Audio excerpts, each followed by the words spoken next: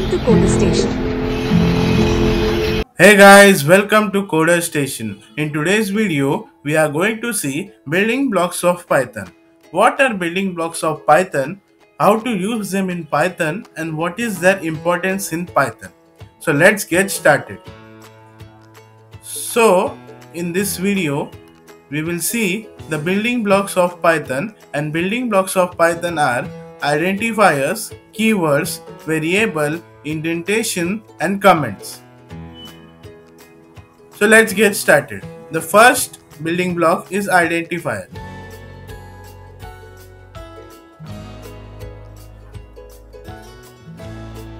An identifier is a name given to a function or an variables and there are some set of rules you must follow before declaring identifiers. So first rule is that it can be a combination of letters, digits and underscore that means it can be alphanumeric and only underscore can be used as a symbol. It must start with a letter or underscore only. If you try to start an identifier with an number for example then the compiler or an interpreter will throw an error.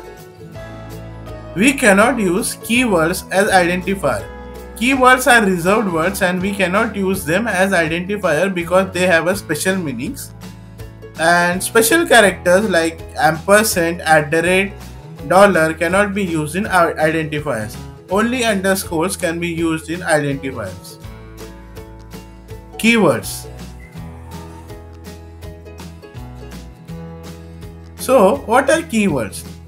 Basically, keywords is a set of words that are declared by Python which have special meanings and it cannot be used as function name, variable name and for any other purpose. On my screen you are able to see an image which depicts the keywords used in Python and we can use all of them in some or the other program. Variables so variable is like a container that stores the value and we can access or change that value. For example, um, let's take a home science example that uh, you have a container in your house and you have stored rice in that container. Whenever you want that rice, you open that container and you use it. And when you feel like um, the rice is less in that container, now i can store some other thing like uh, let's say you store the seeds of fenugreek in that container.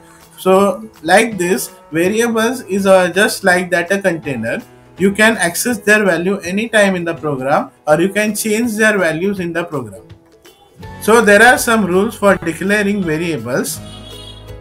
It cannot begin with number it can be created using alphanumeric characters and underscores. They are case sensitive, that means uh, uppercase py and lowercase py are two different variables. It cannot begin with a keyword as discussed before. Keywords have special meanings and it can be of any length. And no use of special characters except underscore. That is only underscore is applicable or that is you can use it while declaring variables. Indentation Indentation refers to the spaces at the beginning of a line of code. In other programming language like C, C++, Java, indentation is only used for beautifying or uh, maintaining the readability of the code. But in Python, indentation refers to a block of code. That is, as in this image, you can see that um, the first block starts from right um, corner of the uh, left corner of the screen right from the left corner of the screen. So whenever the statements are written in the left corner of the screen that is block 1 leaving some space there is block 2 and same applies for block 3 um, here example like uh, you have written an if statement. It is a condition um, you are showing some operation and you are closing that condition and you are printing that. So this is how indentation is done in python. Comments. Comments can be used to explain the python code and they, you must also write comments for each and every block of code uh, in a professional for in the professional field when you will be working because in uh, corporates or in uh, professional field while coding um, your application will be tested by the tester.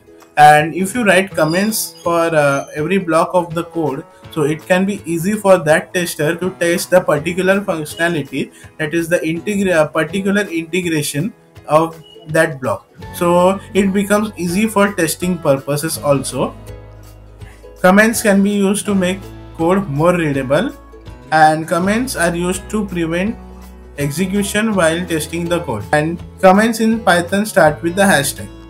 If you write a statement and put hashtag at the beginning of the line python comment will ignore it. Thank you for watching this video. This is only the first part of the video.